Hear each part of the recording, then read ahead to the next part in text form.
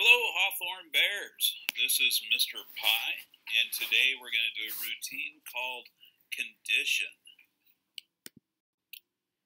Okay, first thing I want you to do is pick out any number that's on this hundreds chart. Go ahead and write it down or tell somebody what your number is.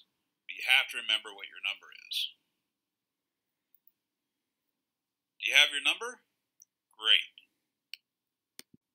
Okay, now think about your number and give yourself one point if the number you chose is more than 20.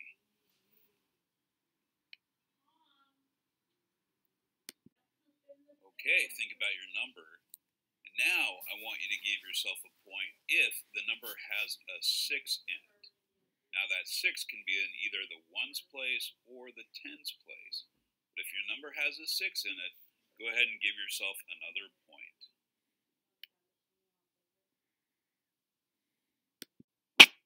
Okay, now I want you to look at your number and look at the ones place. If the ones place has an 8, meaning it has 8 ones, give yourself another point.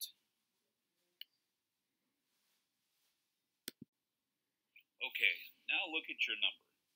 If it's an even number, go ahead and give yourself a point. Remember, even numbers end with 2, 4, 6, 8, or 0. Odd numbers end with 1, 3, 5, 7, or 9.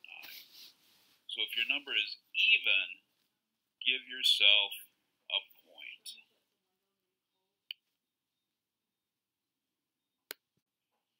Okay, now think about your number again. If your number falls between 55 and 65, give yourself a point. The key word there is between. So you don't get a point if your number is 55 or 65. Only if it's between 55 and 65.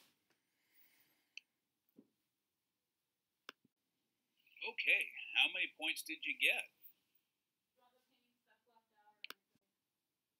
What is a number on here that would have given you at least four points? Look over the hundreds chart and see if you can find a number that would have given you four points.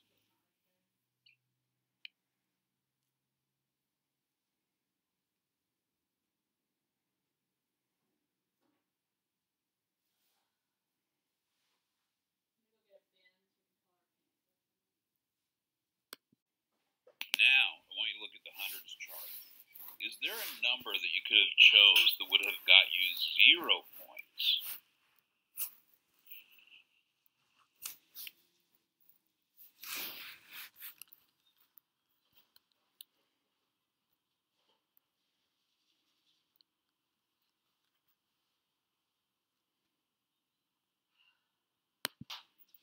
Maybe you guys can help me score mine. I picked my favorite number, 42. So how many points did I get? Was my number more than 20? Yes, based on this hundreds chart, I can see that 42 is more than 20. So I get a point for that. Does the number 42 have a 6 in it? No, no 6, so no point there. Does the number 42 have 8 ones? Nope, it has two ones, so no points. Is the number 42 an even number? Yes, because it ends with a 2. Even numbers end with a 2, 4, 6, 8, or 0. So I do get a point for that. And is my number between 55 and 65? Nope, my number is less than 55, so it's not between those two numbers. So 42 is worth 2 points. All right, that takes us to the end of today's activity. This routine was called Condition. I hope you enjoyed it. Uh, we'll have another activity out tomorrow.